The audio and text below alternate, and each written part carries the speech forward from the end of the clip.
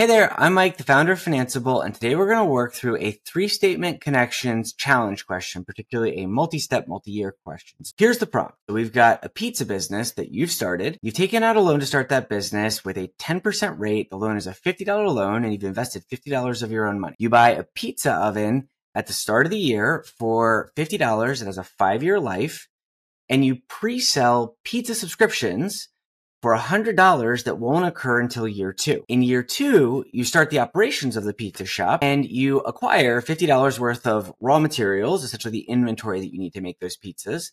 And you ultimately sell all the pizzas to the customers and use up all of that $50 of inventory. Finally, you aren't going to pay down any debt at the end of the year. And you decide that with the money that you've made at the end of the year, you're going to pay yourself a $10 dividend.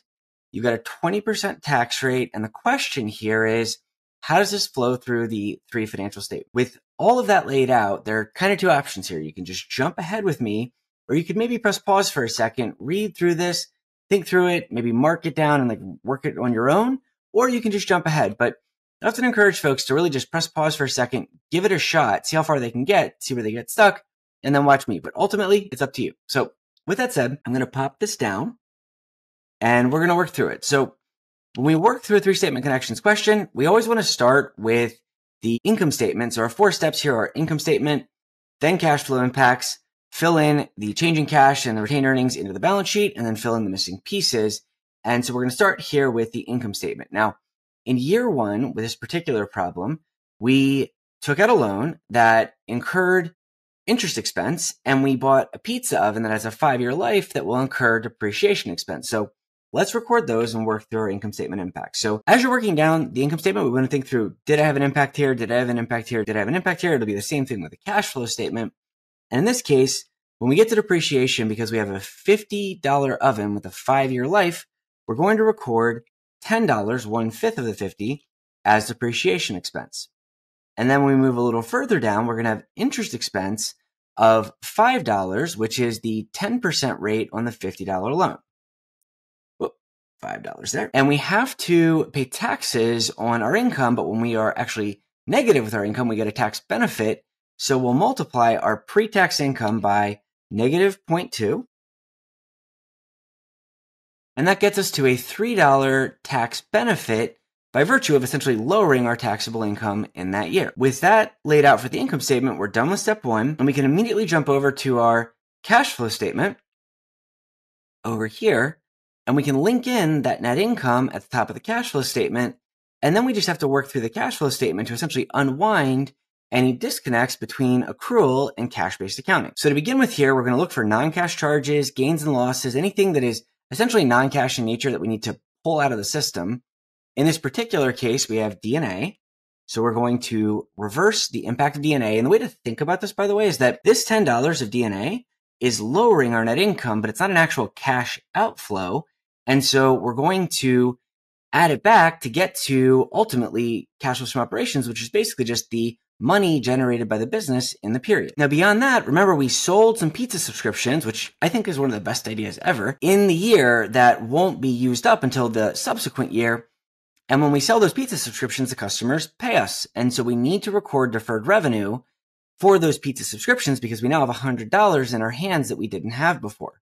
So we'll record a positive 100 here for the deferred revenue. And then moving down to cash flows from investing, we purchased a pizza oven for $50. We funded this business in cash flows from financing. Remember, cash flows from financing is cash in and out from our lenders and investors with $50 of a loan and then $50 of new stock invested by you as the owner of the business. With that laid out, we've now completed step two of our three statement connections. And so what we need to do here is really just pause for a second because this is a part where we can go in autopilot. We can say, okay, the change in cash is just going to be added to the prior cash balance. The net income is just going to be added to the prior retained earnings balance. And ultimately, we're going to do this every time for every three statement connection question. So what we should be doing in the background with our thinking is okay, what's the substance of these transactions and what's the missing set of pieces that I need to plug in and fill in in the balance sheet to complete this year? So again, we're kind of working mindlessly here to put this together. So it's going to be the prior year plus this prior year plus my change in cash. I get yelled at for using my mouse. Hopefully I don't get in too much trouble here. And then I'll take my retained earnings prior year and then add in my net income. And now we just need to fill in the pieces. And so what we need to think through here is what is the substance of the transactions that we incurred here? And if you just read through these, we have a loan that we took out for $50. That is going to come from our cash flow statement. We're going to say, okay, well, we add $50 to our loan balance here. We also injected $50 into the business, so that needs to get added to the common stock line. And then beyond that, we created deferred revenue because our customers prepaid us. So we need to reflect that as well. And I'm just working from the bottom. You can work from the top. Either one works here. And then finally, we have our PP&E that goes up by the amount of our CapEx. Now, I'm just doing this in Excel. Really, you do this on pen and paper, but I think it's just easier to see what's happening mechanically in Excel. I also have very bad handwriting. So I'm going to go grab this, but remember that if you're doing this in Excel in any form, you just have to flip the sign. So if I purchase the oven, it's a cash outflow, but it's reflected as a positive balance on my balance sheet. Then I have my accumulated depreciation, which is going to be the prior period balance. And I'm going to add to that any depreciation that was incurred in the year. And with that, my balance sheet balances for year one. Now, when you're working through these multi-step, multi-year problems, the thing that I've seen people mess up a lot, and honestly, the thing that I've messed up a lot myself when I've worked through these over time is that I forget that as we're working forward in time, we have to take into account the prior balances. So for example, if I have the change in cash here, I need to add the change in cash to the prior balance. It can't just be 148, for example, plugged into, well, be the zero, but the zero just plugged into the year. It's the prior balance plus the change. So just remember with these multi-year questions, you're adding any changes to a prior balance. Now, with that all said, let's go into year two. And in year two, we sold our pizzas that we had pre-sold the prior year.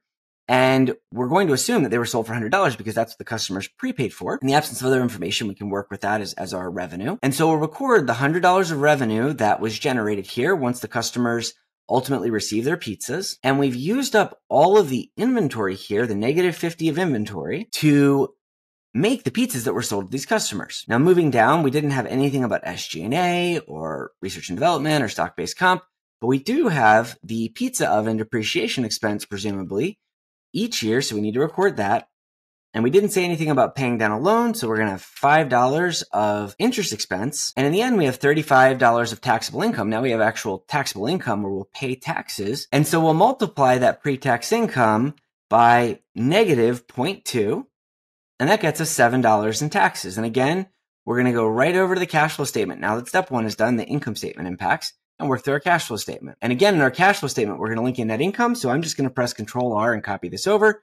We're just pulling the formula over to the right hand side here. And then similarly, we're also going to add back depreciation here to reverse out the impact of the $10 of depreciation that's lowering our net income. And again, I want to emphasize this point here. We're showing here that the $10 of depreciation would have lowered our net income in the actual accounting basis here, but we're adding it back because it's not an actual cash outflow. Now, similarly, as we get a little further down, we get to deferred revenue. Deferred revenue is going to go down by the $100 of revenue that we've generated.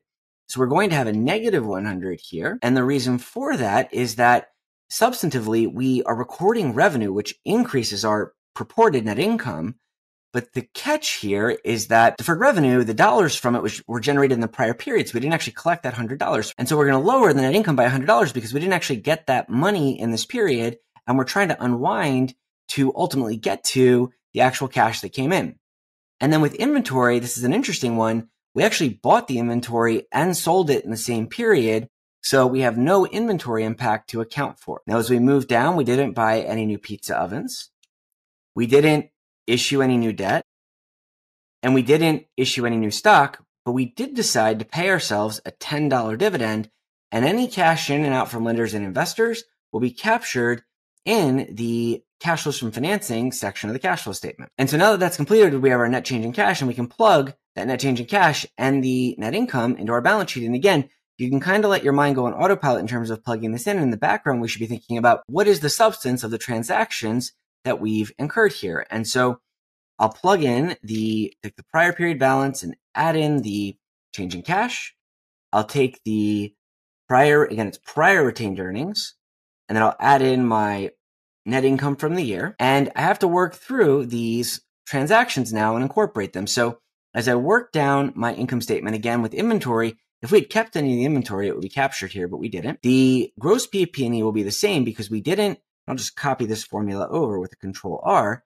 We didn't add any new gross PP&E to this equation because we didn't buy any new equipment. So it's just going to be the same value. And then for accumulated depreciation, remember we added in depreciation from in the prior year and we're accumulating that. So we're going to add in more depreciation, again, control R to capture the incremental $10 of depreciation. I should quickly note, if you're on a Mac, it's Command R. If you're on a PC, it's Control R to copyright. Now, moving down here, our deferred revenue did change. So we have our deferred revenue that will decrease by the change in deferred revenue from our cash flow statement because we're reflecting the fact that this essentially liability to provide the pizzas to our customer has been paid down. And then our change in debt, remember, was essentially the prior period plus any changes in the prior period. In this period, we have no changes. So again, I'm going to copy that over and then I'm going to copy this over. And now we have just the same debt and stock balances as we had before. The last piece of this, and you can see that the balance check is off by $10, is now capturing the dividend that we paid to ourselves as the owners of the business in the period. And with that completed, you now have a balanced balance sheet and a complete set of three statement flows. And I'm guessing if you haven't worked through these problems before, you're thinking right now, holy crap, this is a lot. And it is a lot. It's a lot to work through. The real trick with this is first and foremost, you need to follow the four step framework. So it's income statement impact, the cash flow reconciliation, autopilot, changing cash to the cash balance, net income to retained earnings, and then fill in the missing pieces based on the substance of the transaction. So it's that, that kind of four step framework there. And then beyond that, the other trick is just being methodical as you go through this. And if you are doing this on pen and paper, you need neat handwriting, just make it clean and clear. And I promise you that with a little bit of practice, these things get a lot easier, but you got to practice them to get better. In short, I wish you the best of luck here. We'll post more of these videos. If you like this video, please do like and subscribe down below. I'll see you soon.